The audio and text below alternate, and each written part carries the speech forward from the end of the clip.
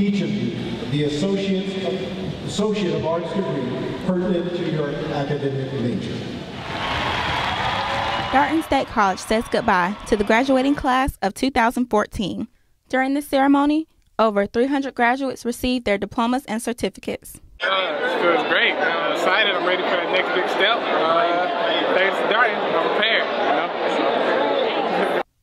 In addition to receiving their diplomas, health science majors also received their pins. Congratulations to all the graduates who are being pinned today. I know it's a very exciting time for them, for us also. One chapter of your life is closing right now, but there's a whole new book ahead of you, and it's a very exciting road for you. After two long years of hard work and determination, students look forward to taking the next step.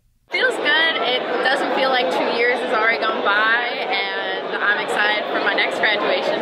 Oh, great. It couldn't come sooner. I'm more than happy to graduate and move on to bigger and better things.